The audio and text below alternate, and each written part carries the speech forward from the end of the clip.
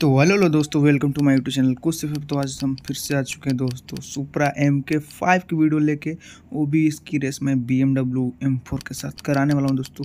तो ये B M W की टॉप स्पीड 340 प्लस जा चुकी है बट यहाँ पर सुपरा 360 जाती है। बट दोस्तों, यहाँ पर मैं थोड़ा डब्ल्यू को चांस दूँगा इस वीडियो में। तो दोस्तों, जो भी मेरे चैनल पर आया चैनल को सब्सक्राइब करना वीडियो को लाइक ज़रूर करना था और मैं थोड़ा सा डब्ल्यू को थोड़ा चांस दूँगा। देखना वीडियो को लास्ट देखना और शेयर भी कर देना। तो दोस्तों मैं आपको फायर शॉट भी सुना देता हूँ एम के फाइव का, जो कि उतना तगड़ा नहीं है एम के फोर के जैसा, नहीं तो आप लोग देख लो।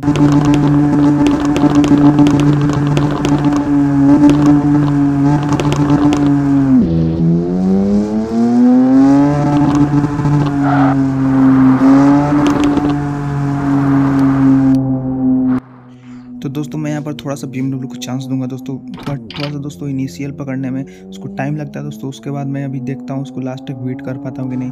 बट मैंने चांस तो दे दिया पर देखते हैं क्या होता है लास्ट में